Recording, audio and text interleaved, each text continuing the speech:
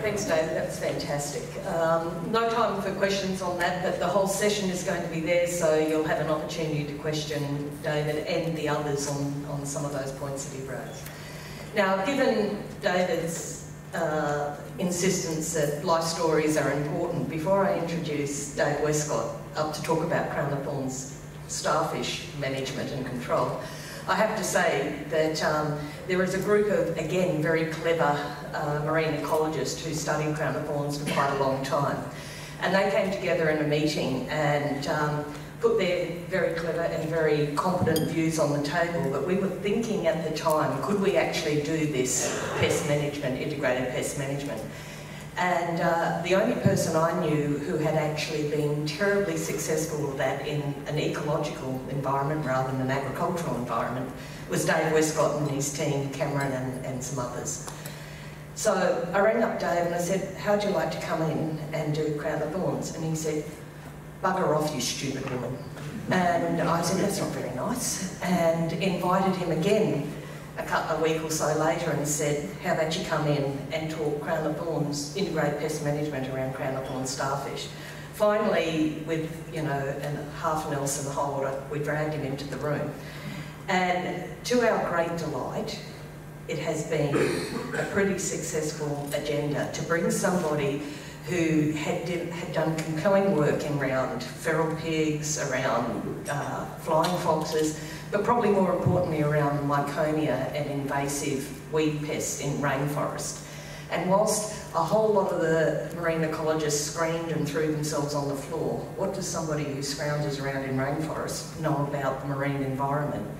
It's the systems and the thinking that was important.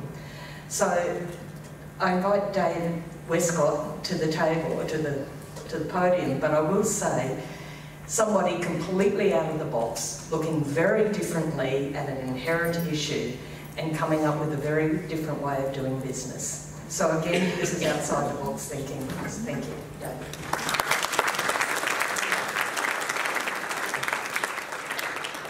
Thank you, Sheridan. I'm blushing.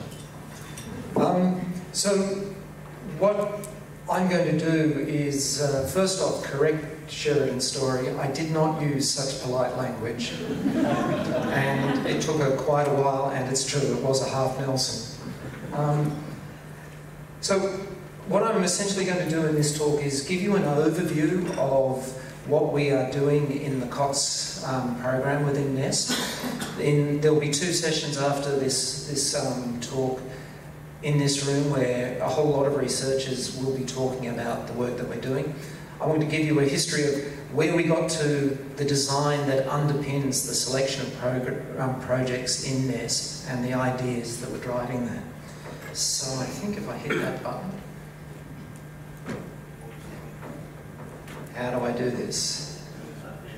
Ah, there it is. All right. So I, do, I want to start out by saying that this wasn't just sort of Cameron and I sitting around and, and by ourselves um, hatching ideas.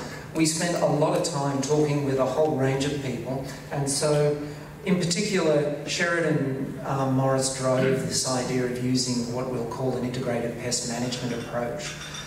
We sat down and refined these ideas with people from a whole range of different institu research institutions, from GBRMPA, and critically from the uh, um, control operators, uh, the Association of Marine Park Tourism Operators, who really gave us a lot of time, laughed very hard at a lot of our ideas, um, and, and really improved all of the things that we were doing.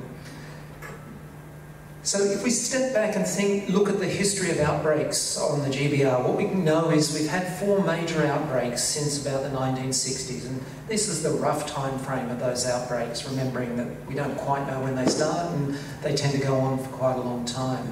Um, but at least in each of these outbreaks, there has been a response. People have gone out and tried to manage COTS, and this has generally been led from the very beginning being led by tourism operators.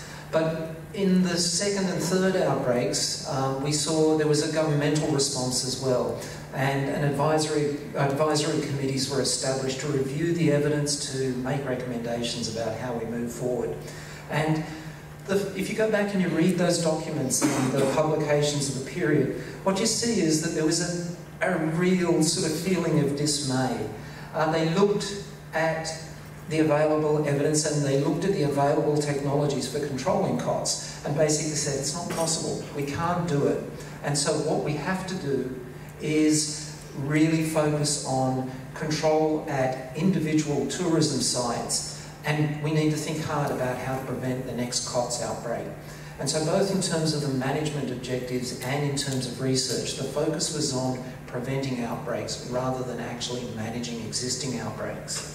Um, and that continued all the way through until the present outbreak. And, but something changed in, with the present outbreak, and there were two advances which I think gave us the opportunity to think very differently about how we approach COTS outbreaks. The first was that rather than tourism operators doing their control essentially independently, we saw a coordinated approach led by GBRMPA, by the Association for Marine Park Tourism Operators and by RRRC. A single vessel going out and working in addition to the tourism operators themselves, doing it in a, a you know, according to a plan collecting data, etc. That's actually a really big step forward. The second thing was the work that came out of Morgan Pratchett's group at JCU, where we got a new way of, of culling COTS, the single injection method, and that fundamentally changed the economics of what we were doing. Now, we came onto the scene um, after really in just just to get Sheridan off our backs, we came onto the scene in 2014, 2015-ish. And coming from outside the marine sphere, that my personal impression was talking with all of the different players in the field was it was really confusing. It was we were clearly in a transition period. Management objectives were still focused on preventing next outbreaks, it seemed, but management action on water was about controlling what was happening in this current outbreak. So objectives and ways of achieving those objectives seemed a bit unclear. Um, but on a research side, it was even worse because people, researchers were still focused on preventing outbreaks, but because there are a lot of good minds operating, there are a lot of good ideas out there, and it was really hard to line up what so what was the key research? What was going on? There were too many unknowns, too many hypotheticals, lots of different voices.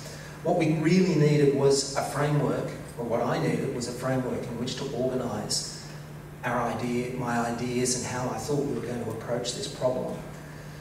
I had to recognise though at the start we had a really strong imperative for action. You know, the, the reef is valuable, we, we care about it, so we need to get out there. We had a good control program and good institutional structures to support a control program. We didn't have as much information as we wanted, but we could paint a pretty good ecological and um, operational picture of the problem. And there was a whole lot of really good minds out there doing really good work, so we could take advantage of that. So the, the first thing is that if we want to have a coordinated approach, then management and control and so the policy level and control and the research all need to be on the same page. We need to have a coherent sort of strategy for all of those different areas and those strategies, that's, it needs to be a unified strategy. So one of the first things that we set out to do was actually to develop a management and research strategy, not separate strategies, but a single strategy. Um, we also made a decision that the opportunity was to focus on the existing outbreak. Other groups were working on, work, uh, working on water quality, so we would focus on an existing outbreak. And that means that we had to focus on, initially in the first place at any rate, on existing methods for controlling COTS. Now, we made the assumption that, that, that these methods were effective, and the evidence to suggest, support that was that after 50 years of experience, tourism operators were still investing in local, you know, on-site um, COTS control. But that's also a research question. It's something that I'll present on later on this morning. And our major task was to say, how can we scale that kind of operation up to make it uh, effect, to give us meaningful outcomes at much, much larger spatial scales. We also needed to recognise that this was going to be a learning process, that we wouldn't get it right all the time and every time and first off, and that we had to be able to adapt our framework to make sure that uh, we could learn and improve.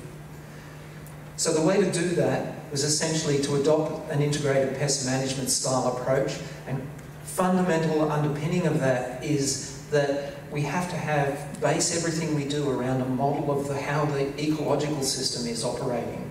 And then secondarily on top of that, we need to have a model of how the operations or the control operations um, will work. And we need to look at how those two systems interact. But the most important part is making sure that the ecological underpinnings are correct. And the reason for that is that while we might be focused on manual control at the moment, our hope is that we will get new control technologies coming onto the scene. So the, the technologies and the operations might change, but it's pretty clear that that fundamental ecological system is going to stay relatively constant. All right. Um, so having said that we need to focus on the ecology first and foremost, I'm going to talk about the management first and foremost. And uh, we have to recognise that managers, there's only a few things that managers actually do. So when they're out on the water, they're out there affecting control in some way, reducing the numbers of cots. Um, so we need to think about how they do that. Um, and the other, one other thing that they can do is figure out where they have problems and where they should be implementing control. And, they, and you do that through surveillance. And so we need to know how to do surveillance and we need to be, able, know how to do that at a variety of different scales. And then it, perhaps most important thing is that we actually make decisions about what we're going to do and when. And so we need a whole range of tools to support um, managers in making those decisions, to organise information, uh, to do analyses that provide them with guidance. Doesn't replace their decision, um, their input to the decision making. Simply gives them the support that they need to have some confidence in making those decisions. So those were the areas we were going to focus in. But critically, decision making requires that you have objectives. And objectives really are guiding pretty much everything that we do. And again, having just said that, even at this point in time, we're not quite certain what our objectives are because we're still trying to figure out what is possible. But we have a suite, there's some op different options as to what our objectives might be. We do know that, well, from the very beginning of COTS control, we've been seeking to protect assets. That's one objective that will remain constant. Um, but we can also have objectives around COTS and around corals themselves. We can decide that we want to actually reduce the damage caused by COTS, and that might be to focus in particular areas and just remove them from that site. But we might be more, want to be more strategic and think about reducing the downstream effects, um, influencing how the outbreak moves through the reef. And in that case, we might want to focus on locations where, which are sources for COTS, so that we're trying to disrupt spread between different areas. We can do similar things for corals. We can focus on protecting particular sites because they're nice, because they're diverse, or because we're conducting restoration at those sites. But we might also want to pr protect the um, areas where we have lots of cots, uh, lots of coral larvae um, being produced. So um, those are the sorts of objectives that we might be choosing from. We haven't yet, we're more than likely going to be choosing a number of these different objectives we have to recognise, I'm being told to get to move along, so I'm going to have to move very quickly. Um, we're being told, we have to recognise that COTS populations do different things at different spatial scales, and our management needs to recognise that. So we need to have decisions at individual sites, at reefs, at local areas, as well as at the, at the GBR scale. Um, Management also operates at different levels, at different scales in space and time. And so the decision support that we provide needs to actually inform how those decisions map on to what's happening within the population dynamics. Overall, this is a simplified um, strategy, uh, I, illustration of how we've structured the research and uh, management strategy. Uh, essentially, maps onto what I've just talked about. We have in blue the areas where management will be making, uh, will be actually implementing action. So we have site control, which is at a, you know a polygon or a very an area of about a hectare or two. We have local areas with multiple polygons. We have regional areas, so within an outbreak area. Associated with each of those areas of action, we're going to have particular decisions that have to be made, and so research has to support those decisions. And those, that research will need to be informed by a whole lot of other research projects around that provide specific bits of information into those decision support tools. We need to think about where outbreaks are and how they're spreading, and so we have to have a surveillance strategy that informs um, that warns us about new outbreaks, but also tells us where we need to implement management, how the current outbreak is moving through an area. And finally, we need to have tools that help us make decisions about the large-scale objectives that we're trying to achieve with this program. I won't talk to all of these, but essentially in the session that's coming up, we have a range of different talks that touch on each of these different areas. Oops, and I just managed to turn that all off. Um, not all of this work is funded directly out of NESP, but what we're trying to do is take advantage of the NESP investment to um, coordinate and organise a whole lot of the research that's happening. Um, but we are already having quite significant effects on the way that the program is operating. So the current um, operations out on the water are employing some of the surveillance strategies that we've developed. The current voyage scheduling for the program is looking at some of the prioritisation that comes out of Karlo Hock's work, um, identifying what are the most important reefs in terms of coral and COTS sources and sinks. That determines where we go. Some of the analyses that you'll hear about this morning are informing the revisitation schedules, how quickly and how often we go back to particular sites. And we're working very closely with GBRMPA at the moment, trying to ensure that the thinking that's underpinned this work is feeding into the design and the operation for the expanded COTS control program. So, just to wrap up, have we got it right with this strategy? Well, almost definitely not. Um, I'd like to claim that I'm perfect, but my mother will assure you that I am not. Um, so, this has to be a learning process. We think we've got the right general framework. The details we're going to get wrong and we're probably going to have to shift things around a bit. But the idea is that we've got a good, solid structure that will allow us to engage in that learning and refining and uh, the experimentation. So hopefully what we've got is something that works to help inform management, but also helps researchers identify where their research is going to fit in and how we can, what its pathway to adoption is likely to look like in, within the control program itself. And my final point is that COTS management has been looked at as some, in the past as something that you do when you have a problem. And I think this is really a fundamental mistake, and it's part of the reason that there was so much confusion, or there's still confusion about how COTS programs should operate. We really have to look at this as a long-term commitment. We need to invest, we need to have in the long term, not just when we have an outbreak, but at other periods as well. And if things go the way they seem to be going, we're, we're probably almost going to have a permanent outbreak going into the future. So what we're hoping here is that we are providing an initial template for a long-term slash permanent um, COTS program. Thanks.